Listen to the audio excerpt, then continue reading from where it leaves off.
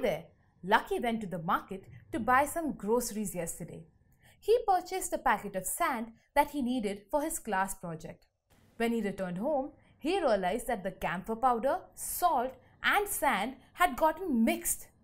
His friend Tara reminded him of ways to separate this mixture that they had learnt in school. Lucky remembered that camphor or ammonium chloride directly converts into vapor upon heating. This is called sublimation. Sublimation is a process in which a solid directly converts to its vapor phase below its melting point without going into its liquid state. In contrast, sand and common salt do not sublime. So from a mixture containing camphor, common salt and sand, camphor can be easily separated first by the process of sublimation.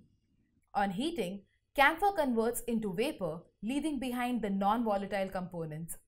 On cooling, the vapor of camphor changes into solid. Now everyone knows that common salt is soluble in water, but sand is not soluble in water.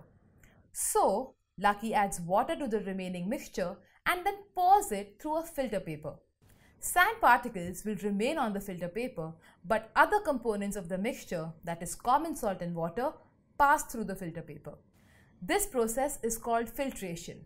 Now from a solution of common salt in water, common salt can be obtained by evaporation where we evaporate the excess water so that salt is left behind on the dish. For separating the different components of a mixture of ammonium chloride, that is camphor, common salt and sand, we can use the methods of sublimation, filtration and evaporation. Take a minute to think about this. If Lucky had dissolved the mixture in water before heating the mixture, both camphor powder and salt, being water soluble, would have dissolved in water and their separation would not be possible.